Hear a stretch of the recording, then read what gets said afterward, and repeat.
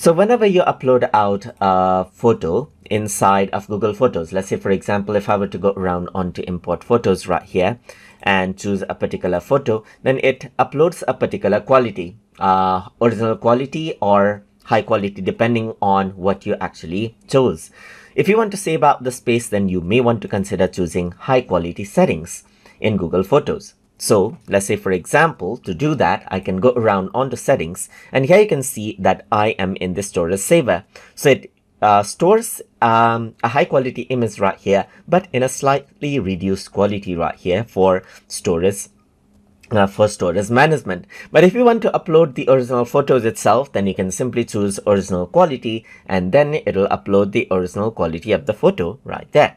So you can go for storage saver or original quality. And once you go for original quality, it'll take up much more space, uh, but will store original quality. But you can go for storage saver if you want a slightly reduced quality image. So that is how you can choose between high quality and original quality setting inside of Google Photo and choose to store uh, save storage space as needed. So hope you guys learned something as always.